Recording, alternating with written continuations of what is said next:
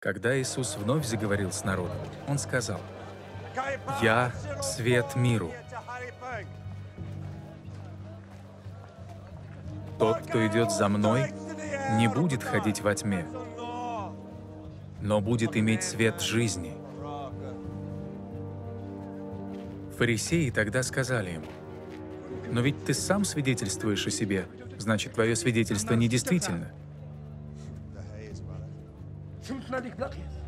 Иисус ответил, «Даже если я и сам свидетельствую о себе, мое свидетельство истинно, потому что я знаю, откуда я пришел и куда я иду. Вы же не имеете никакого понятия ни о том, откуда я пришел, ни о том, куда я иду. Вы судите по человеческим меркам. Я же не сужу никого. Но если я и сужу, мой суд справедлив, потому что я не один. Со мной Отец, который послал меня.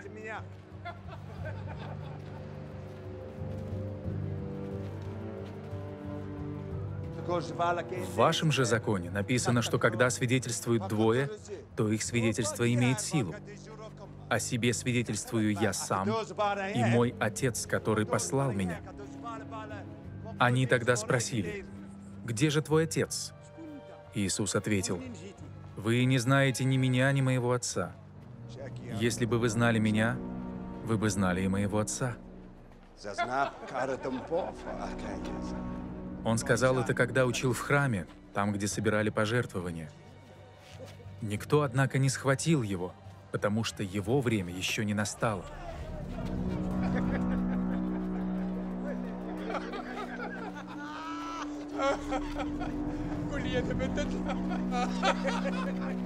Иисус сказал им еще раз, «Я ухожу, и вы будете искать Меня, и умрете во грехе вашем. Туда, куда я иду, вы не сможете прийти». Иудеи стали тогда спрашивать, «Он что, собирается покончить с собой? Может, это он имеет в виду, когда говорит, «Туда, куда я иду, вы не сможете прийти»?» Иисус продолжал, «Вы отсюда, с земли, а я пришел свыше. Вы принадлежите этому миру, а я этому миру не принадлежу. Поэтому я сказал вам, что вы умрете в ваших грехах. Если вы не поверите, что я тот, за кого себя выдаю, вы действительно умрете в ваших грехах. «Кто же ты такой?» — спросили они. «Я вам с самого начала говорю, кто я такой», — ответил Иисус.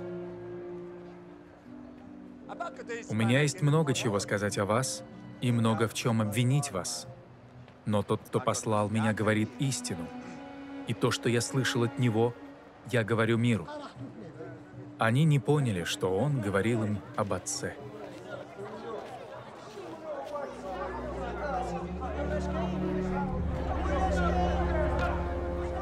Тогда Иисус сказал, «Когда вы вознесете Сына Человеческого, тогда и узнаете, что Я тот, за кого себя выдаю, и что от себя я не делаю ничего, а говорю то, чему Отец научил меня. Пославший меня всегда со мной. Он меня одного не оставляет, потому что я делаю то, что угодно Ему». После этих слов многие поверили в Него –